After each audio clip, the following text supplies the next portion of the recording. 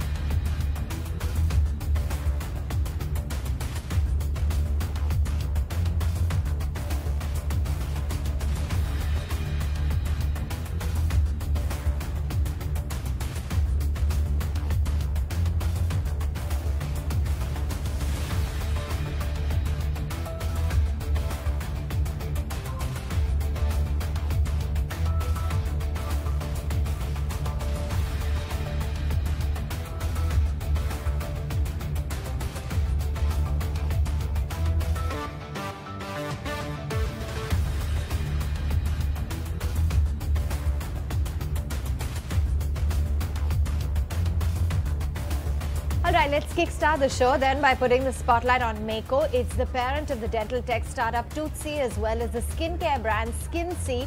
And they've raised close to $16 million in a fund round that has been led by 360 ONE Asset as well as the investment office of Ashish Kacholia. Dr. Arpi Mehta is the founder and CEO at Makeo and now joins us on the show. Good to have you on board now. Um, just start off by telling us which are the investors that have participated because I know that there's a, a number of them in addition to 360 ONE Asset.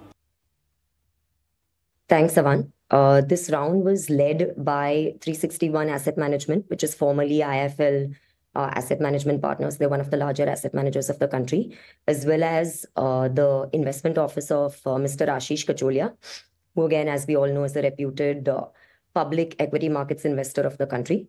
Um, we also saw participation from almost all of our key investors, uh, existing key investors in this round, which includes uh, Eight Roads, the venture capital arm of Fidelity uh, Private Equity, Paramark Ventures, the family office of the Midlife co-promoters, and my family as well, double down in this existing round. Sure. So, what is it that you will be utilizing the $16 million worth of funds for? Will you be really expanding your geographic footprint? Sure. So, just sharing some context, um, we are basically a platform that's focused on providing clinical grade makeovers to you know every Indian in an accessible and affordable manner. Currently, we already have uh, operations across almost 100 cities of India out of these, in the core cities of India, we have a pretty strong ecosystem that comprises more than 100 uh, you know, dental and derma professionals, uh, a US FDA-backed laboratory, uh, and more than 150 um, agents on feed that actually provide home scan services. So the capital that we'll raise in this round, we intend to sort of strengthen our presence across the next leg of 30 cities in India, thereby expanding and deepening our home scan services and also the experience centers uh, that we will be setting up there. We currently already have almost 25 experience centers in the core cities of India. Uh, these centers provide uh, you know, free derma and dental consultation to customers that come in and provide enhanced treatment journey support to our existing users. Uh, we intend to double this number to almost 45 experience centers across the next leg of cities in the next two years using this capital. So, how many uh, customers do you currently have, and uh, what are the product offerings? Sure. So, as a brand, right, uh, across the dental and dermatech solutions category, we have already serviced more than 1,50,000 customers uh, in our lifetime. Uh, as of now, as well, we uh, clock in an annual revenue quantum of almost 250 crores uh, which means doing almost 16,000 at home uh, services or sessions for our consumers across largely the top 10 cities uh, of India. Uh, our plan you know, with this capital is to basically grow profitably over the next couple of years. We intend to cross the 500 crore revenue mark in the next two years on the growth side. But there is also very, very strong sense of profitability in the business. Um, our idea is to get to an EBITDA profitable number or break even by March 2025. Tell us overall how many dental professionals you have. Um, is it consisting of orthodontists, in-house dentists on the platform for Toothsi? Sure. So, uh, we have a pretty expansive ecosystem right now. It comprises almost um, 100+ in-house dental and derma professionals. That includes orthodontists, dentists, dermatologists. It comprises a network of more than 500 partner dentists that uh, we have associations with across the country. Uh, we have a U.S. FDA-certified laboratory, which is the highest hallmark of credibility in the aligner uh, technology industry, for our lab, that allows us to almost ship out more than Uh, 100,000 aligners every single month uh, to our consumers. Besides that, we have a network of almost 25 flagship experience centers in the core cities of India. And this is essentially the ecosystem that we currently operate with to provide services to our consumers. Our plan with this capital is to essentially increase, uh, you know, this ecosystem or strengthen this further ecosystem across the next 30 cities of India.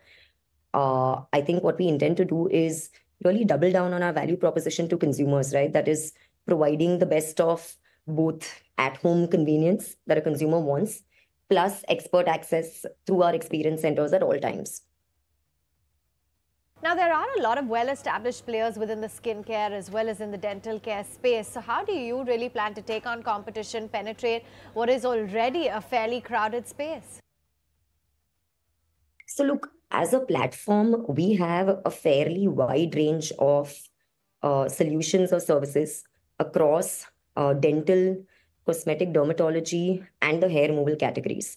And therefore, in an indirect sense, you could say that, you know, uh, you know, we have a wide range of competition, right? So the competition would range from, say, the mom-and-pop dentist or orthodontist. It could range to other clear aligner brands. It could be your cosmetic dermatology chains, or it could be your razor brands, hair removal brands, for all you know, right? Having said that, uh, we have a very unique approach to building the business and the platform. Uh, I don't think there is any direct competition platform that really provides the 360-degree host of dental, derma, and hair removal solutions, uh, in the manner that we do, which is home services coupled with services at our centers at all times. So we actually have a phenomenal level of confidence in this industry, which is uh, the clinical makeover or the clinical beauty industry. And we know that we are approaching the problem set uh, in a 360-degree manner, right? Providing uh, digital, online, as well as offline solutions to our customers to provide the highest standards of quality of treatment, but in an affordable and accessible manner. Now, you spoke of achieving that 500 crore rupee revenue over the next two years to become EBITDA positive in the next 18 months or so. How do you plan to really achieve that? The idea there, like I said, is in the top 10 cities of India, we will strengthen our experience centers. We will move from 20 experience centers that we have right now to almost 40 in the next two years. That will allow us to, uh, obviously increase the customer experience that our existing users have, but also acquire newer customers who uh, would want to trust uh, a brand that has physical expert access at all times. Uh, we also plan to expand our geographic footprint across the next 30 cities of India, building in on home scan services there. We currently have laser hair removal as well as clear aligner technology as our hero offerings. But in the recent months, we have also been scaling up some of our newer offerings, which include acne treatments and solutions, uh, anti-aging treatments, uh, teeth whitening treatments, and so on. So we will be expanding some of our offerings across India. Uh, in the last year, we also launched operations in the Middle East, in UAE as well as Saudi Arabia. And we're currently exporting our aligner products there. Our U.S. FDA certification allows us to leverage, you know, uh, this and provide, uh, or export a line of products to countries outside of India. So we will continue scaling down, scaling up our international uh, operations as well. In the Middle East, we will actually become profitable in the next probably six months. And we anticipate that in the next one, one and a half year, it will contribute to almost 15% of our overall company revenues. So that's our um, roadmap to getting to our revenue, our target revenue growth in the next couple of years, but also doubling down on profitability and getting to an EBITDA break-even in the next 15-18 months. So there were some reports as well that indicated that there was a layoff of about 20 to 30 employees in the month of May uh, to extend the runway because there was a delay in the fund uh, fund round. Can you just clarify, will there be more layoffs? In terms of layoffs, et cetera, I think we all are aware that, Um, you know, our company, uh, just like most other startups, continues to focus on or have a very high focus on profitability and efficiency, right? So as part of our efficiency exercise, we do uh, take steps or make efforts to ensure that we are able to uh, grow and churn out revenues with as lean a team as possible. So we've done whatever was, you know, part and parcel of basically getting profitable growth over the last one year, uh, and we'll continue to do that over the next couple of years. Uh, so I think, you know, your layoffs, et cetera, would have just been uh, a part of our focus towards getting to profitability. Um, yeah. And you know, you've got brand ambassadors, the likes of Anushka Sharma and Virat Kohli. What are your overall ad spends? Are you worried that you're spending maybe too much when it comes to ad spends? Sure. So look, we're in a category where uh, investment in the category as well as the brand uh, is obviously critical and important. And we have uh, partnered with eminent brand ambassadors like Virat Kohli as well as Anushka Sharma to basically help us do that. And that has actually helped us get a very, very large market share in the categories that we operate in today. So yes, we do invest in, you know, category creation, etc. Having said that, Uh, these are very efficient and our marketing spends continue to get more and more efficient with them. Over the last two years, we've actually doubled our efficiency on the marketing uh, or the customer acquisition side as well. And that happens because we not only invest in brand, but we have a great product at the back end and we have a vertically integrated platform that really allows us to sell the product to the consumer uh, in an affordable manner while still maintaining stellar margins. So from an economics perspective, Uh, we have already managed to get to a contribution margin positive level across each and every one of our categories. Mm-hmm. Uh, so we continue to do that. We continue to focus and double down on efficiency. And our plan is to basically uh, get profitable growth, continue to get the profitable growth through the avenues that we already discussed. And we'll soon be EBITDA profitable in the next 16-18 months on the basis of this. Thanks for that, Sumita. Let's move right on. And it clearly has been quite a challenging year for the Indian startup ecosystem. Funding has plummeted to a seven-year low. A 65% decline is what we've seen in the year 2023, according to uh, reports by Tracxn. Let's take it across then to my colleague Sharad to understand better. And Sharad, clearly funding has dropped from $25 billion in the previous year to $8 billion, a meager sum in the last year. Well, 2023 has been a forgettable year when it comes to tech startup funding. And if you look at the funding numbers, that has come in at roughly seven-year low levels. Even if on a year-on-year basis, if you look at it, more than 67% drop has been there when it comes to the overall funding. Now, of course, the funding winter impact is there. That has actually plagued the Indian startup system over the last two years. And there hasn't been very large late-stage funding announcements, and only two unicorns were made in the year 2023 itself. Now, let's look at the tech startup funding over here. And we look at it in 2016, they raised roughly $5.3 billion, and that kept on increasing and hit its peak in 2021 with almost flows coming in of almost $41 billion. After that, the fall started. The year 2022, it was roughly $25 billion. And 2023, the numbers coming in single digits of roughly $8.3 billion. So that's what we can say is coming in at the funding at a seven-year low levels. Apart from this, there are certain segments where we have seen strong inflows coming in. And of course, there has been a change in leadership of these segments. Earlier, it was SaaS companies. And now we are looking at electrical vehicle funding. That's the only sector which actually raised more than a $1 billion. To be precise $1,100 million. Apart from this, alternative lending, fashion tech, logistics tech, and B2B e-commerce, these are the emerging sectors where strong funding was there across the board, be it the seed stage or in the later stages as well. And the range of funding, if you look at it, that range between 663 to almost 850 million dollars each for these segments. So we did speak about the total tech funding trends. We spoke about importantly which segments are buzzing. And also there are certain companies and of course they are actually getting ready for their IPO also for the next 18 to 24 odd months and that is where the focus is in the markets but they were successful enough to actually raise in the late stage funding space as well. So looking at the bigger names, we are having PhonePe, Lenskart, roughly 500 to 623 million dollars they raised respectively, and PharmEasy, Udaan, and Perfios also did make it to the list. So of course, if you are looking at late stage funding of these important startups, so they will be looking at the path to profitability, and of course, cost rationalization, layoffs were the order of, for the year 2022 and 2023 but it's expected that the overall interest rate scenario is going to improve next year and we might see some good companies coming in, in the IPO space as well as important late stage funding might start again for the IPOs. That's what the analysts are stating. Moving on, then you've got One 97 Communications, which is the parent company of Paytm. They've announced that they will invest close to 100 crore rupees in the international finance tech city, that's Gift City, in Gujarat, in order to build a global finance ecosystem. Let's uh, take it across to my colleague Sumita Karir, who joins in with those updates. Sumita, this news coming in just uh, ahead of the Vibrant Gujarat Summit.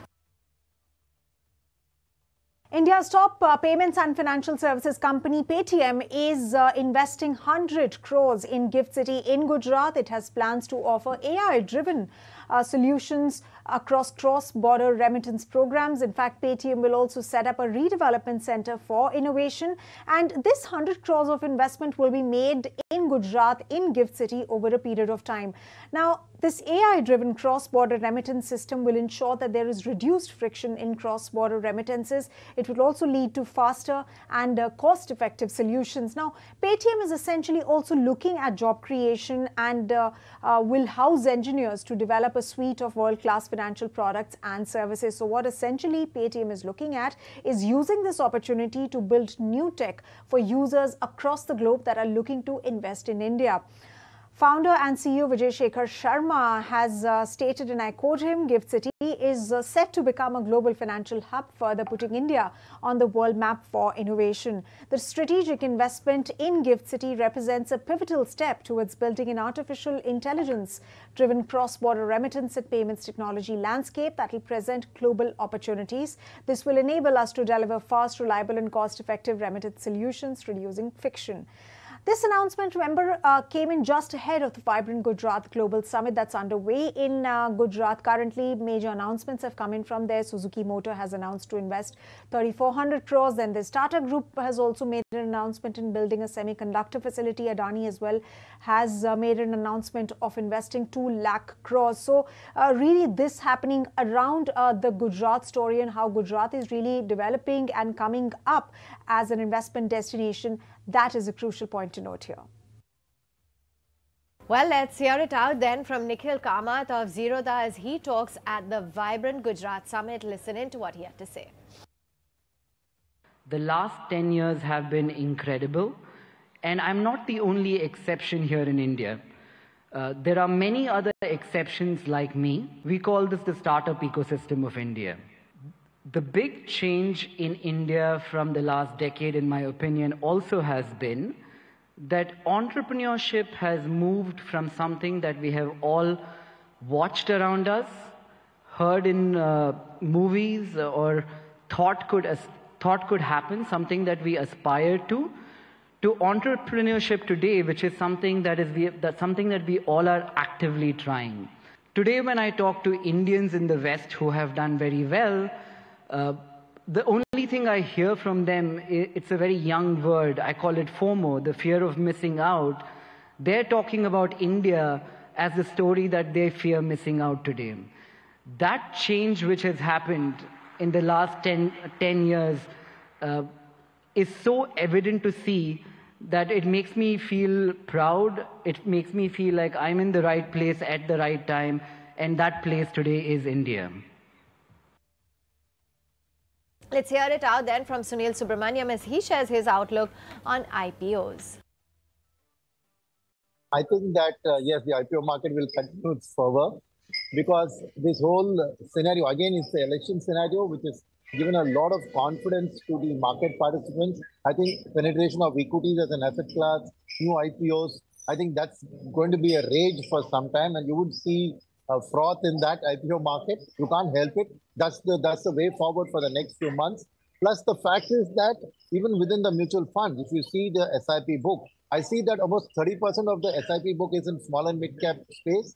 Plus, you have another 30% in multi cap. So, roughly half of the SIP book of 17,000 crores is available for buying in the smaller end of the cap curve. And so even mutual fund institutional participation in the IPOs, they would be having the money to deploy in good quality IPOs. So I see the IPO market, you know, doing very, very well in terms of uh, listing gains and those kind of stuff. But over a period of a six months to nine months, these IPOs would have to demonstrate the value proposition and there would be fluctuations in their price. So I would say that from a longer term perspective, yes, it makes sense. But in the shorter term, I think there would be a lot of post listing uh, fluctuations. So retail investors should be careful about what they do with their uh, IPO if they get an allotment. So I think otherwise, I see the strong domestic flow uh, coming into support, and that would tend to be at the smaller end of the cap curve. So I do expect the, the IPO market to get a lot of buying support in the coming months. We also spoke with Saion Mukherjee of Nomura and he shared his views on startups amid the funding winter, ripple effects, as well as what the outlook is for startups in the year ahead. See, I think, uh, you know, of course, you know, uh, things can get tighter and we have seen a phase where, you know, things are tougher. You have you have seen you know a lot more uh, funding difficulties in in uh, you know many of the startups it's probably not as easy as it was just after covid uh, i think that trend can potentially continue. But I guess there is a lot of interest in India as an economy, right? And I think if there are uh, if there are businesses which have proven themselves, uh, I think would uh, be able to attract funding. So funding would be more selective, I would say. But nonetheless, I think the interest that you know we have in India today uh, is is quite high. I mean, India is doing much better than many of the other economies. So to that extent, I would expect uh, good businesses uh, where the where the business model is established uh, would continue to sort of get uh, adequate funding.